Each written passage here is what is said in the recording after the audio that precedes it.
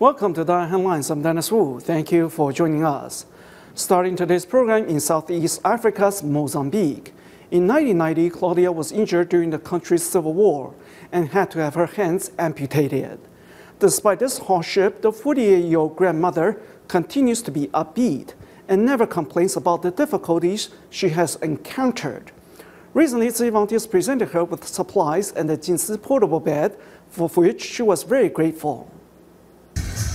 Carrying this child, 48 year old Claudia is much like a normal grandmother who enjoys playing with her grandchildren. However, a closer look reveals that both of her hands have been amputated, though she has never taken pity on herself.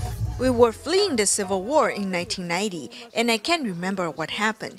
I just remember that when I woke up in the hospital, my hands were missing and I was surrounded by injured people. Claudia lost her hands as well as her home. Later, with the help of a priest, she was slowly able to care for herself. At the time, the priest built a center to care for us. I thought that I didn't want to always rely on others to help, so I learned to take care of myself.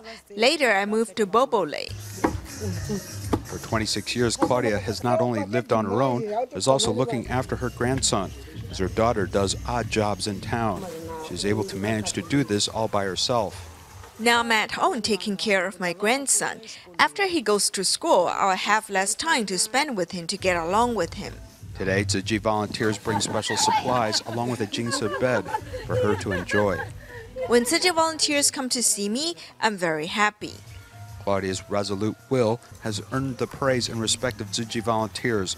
On their next visit, volunteers promise to help her set up a small vegetable garden to allow her to become more self reliant.